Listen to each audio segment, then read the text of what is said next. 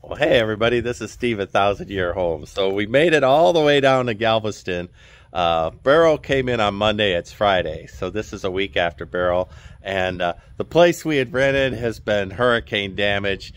The uh, island's still out of power, uh, mostly. So uh, we won't be able to stay here. But uh, we'll go ahead take a walk through. This construction's amazing to me. So look at this, it's 20 feet up in the air three shipping containers welded together with a top floor like a, a widow's walk. So uh, it is um, really something. So I was smart. Uh, I was smart and I had bought the uh, insurance, the travel insurance through ABN, uh, 38 bucks or something. You saw that, right, Leah? So I haven't used it. So we'll find out how that works on Airbnb. Uh, otherwise, I use them my Amex, and Amex doesn't mess around. If you're cheated, Amex is on your side. That's one of the superior points of having American Express. So, and I did use my Amex, right, Leah? Yeah. So, uh, anyway, we're double, triple protected. Uh, in addition, we haven't reached out to the landlord. Um, when we asked him originally, said he noticed a water leak in here, but uh, the power hasn't come back on on the island, so we can't use this. But let's go ahead and take a look at the construction. So I walked up these stairs, I'm winded. I mean, eh, and I don't like heights, and seriously, it makes me a little nervous. So uh, each one of these shipping containers is a bedroom, and then uh, it's welded together. There's some serious engineering in here. Uh, two by 12s. It's definitely held up in a hurricane. It is. Sort of, except we noticed like the water damage around the weld beams. So there was something not sealed in the roof that came in and knocked it. And of course the power's out in here. So we've got the windows open right now to even see it. Uh, no fault of the Airbnb for the power, I'd say, because uh, hurricanes, right? That's a force of nature. Oh, look at the moisture down here. Yeah, yeah. So So- box is drenched. Oh, that's the router box is drenched. So the hurricane did get in here. Now this is a 20 foot container here, Leah, and it's awfully small for a bathroom, bedroom, but it's got all the amenities you would want. The bathrooms are nice. Notice that it's it's way more than a high cube. So these roofs are 10 foot, but This they're room smells moldy. Doesn't it? Uh you know i don't know. Maybe these are high cubes and the the drywall's right on the roof. Well they just smell it smells oceany. It doesn't smell moldy. It smells like the ocean. Uh there's a washer and dryer the living room. The stairs are kind of neat. But i'm much more happy with me with a 20 foot vaulted ceiling between two shipping containers than welding a bunch together to try to get the square there's a foot lot of stairs in here. I don't. It- well, we, we're in a hurricane zone. We're not used to that. So we're up 20 feet just to get out of the swell. And even then, it still didn't work. So the this whole upstairs is a bath, uh, is a uh, kitchen. I, I like that design.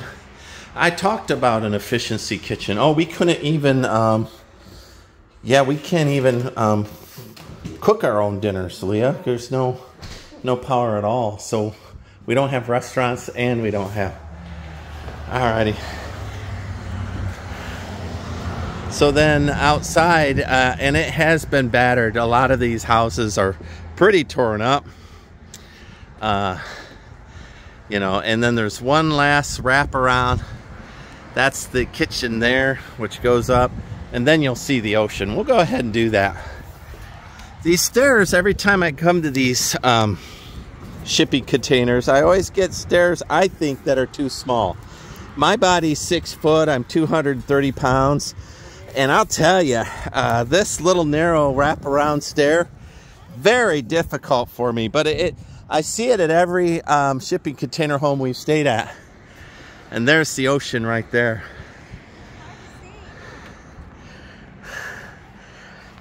Wave hi, Leah. It looks like you're a million miles away. She's just down. Uh, you're every bit of 15 foot below me, though, and then it's 20 feet to the ground. I am super nervous to be up this high. I, Yeah. I do not like heights. But what of you?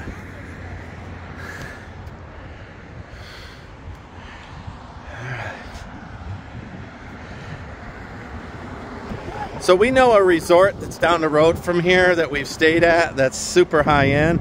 We're gonna stop there. Maybe it held up better to the hurricane and maybe it has generators.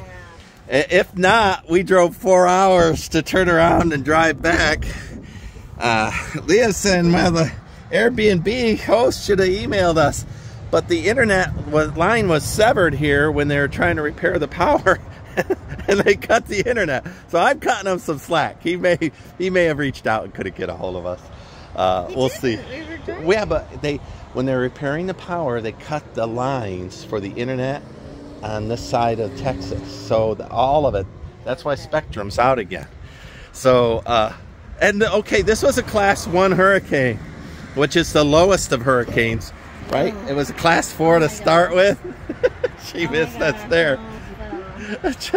so, if a class one could do this to Texas, oh my God, what if it had been a class four and just had sat here and spiraled like it did to Rockport? Uh, oh man, it would have been beat up. I mean, it's So- nice, but All right. Well, okay. So I, I prefer my design, but I'm in the middle of central Texas. I don't have 20 foot swells to deal with.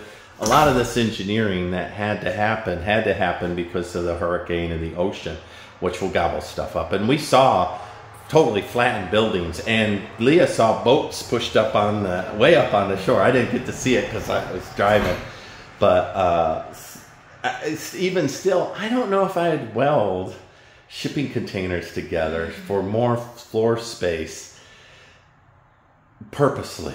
Like, I like my idea of two shipping containers with a vaulted ceiling between it. Now, I haven't finished building mine, so, but even still, my uh, bedroom ensuite feels a lot more cozy than this.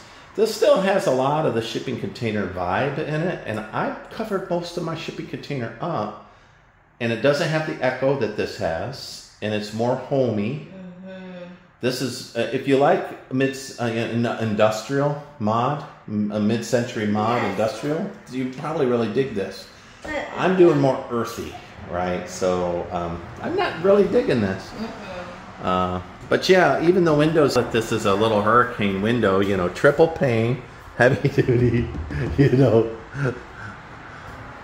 I don't know where the water came from, to be honest. It had to get through the weld and follow it down That's what I'm saying, and then drip through because the drips are right here and there's no water damage here, nor is there a sink there the sink's over there. over there. So unless the pipes ran up, but you saw that one piece of sheetrock was down that was underneath. So Oh, anyway, we're gonna. Uh, I'm gonna wrap up this video. I'm not gonna be able to take advantage of this. Uh, hopefully, the uh, gentleman will be able to refund my money. If not, I have travel And insurance. every time we want If not, I have Amex. So And this is not great because every time you want to come get a drink or something, it's a long way over. It- it- I could not retire in this home. That's the other thing that I'm making my home. It'll have both stairs and ramps, so it'll be completely accessible, one say floor. This just seems so far any from the upstairs. whole. It does. This is It's so high.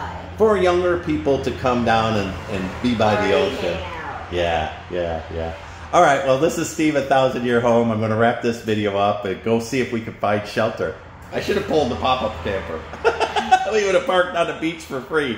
All right. Like, subscribe, follow us along.